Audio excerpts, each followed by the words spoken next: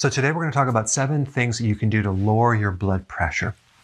Um, an extremely high blood pressure would be we have the systolic and the diastolic. And by the way, systolic is the contraction of the heart.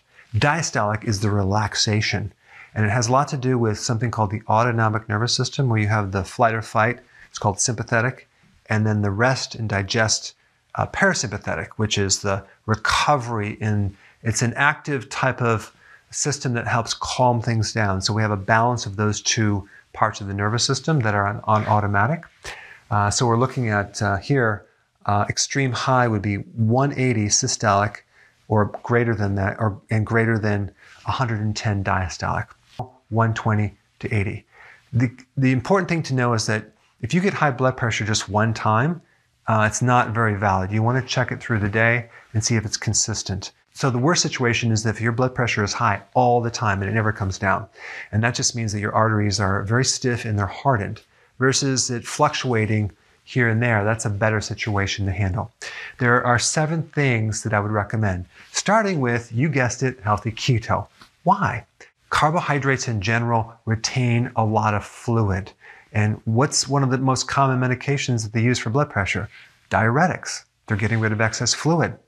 You go on keto, you're going to dump a lot of fluid, and there comes the blood pressure just by going on a low carb diet. Intermittent fasting, vital to decrease inflammation in your arteries, okay? Um, also, the combination is very, very important to take the stiffness out of the artery itself. Number three, decreasing cortisol. What's cortisol? Cortisol is a stress hormone from the adrenal. And if the adrenals are involved and the cortisol is too high, what's going to happen is the systolic is going to go high first before the diastolic. Conditions of high cortisol, like Cushing syndrome, is high blood pressure.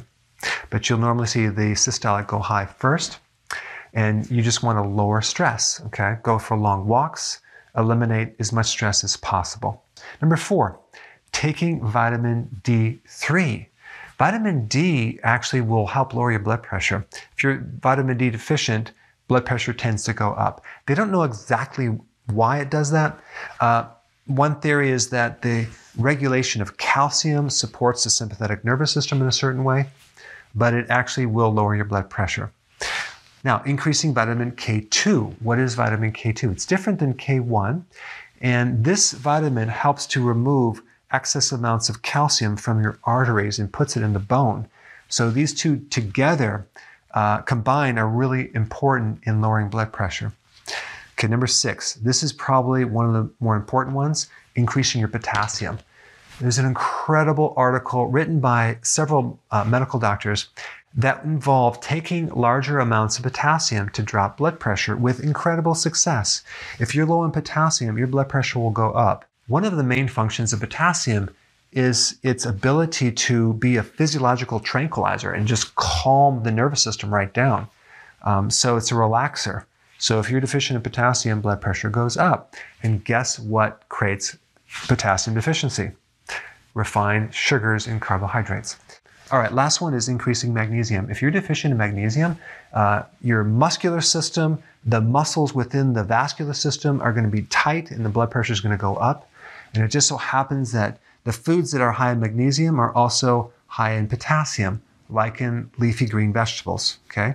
So these are the seven things that uh, you can do to lower your blood pressure. Thanks for watching. So if you're enjoying this content, go ahead and share it with someone that could really benefit from it.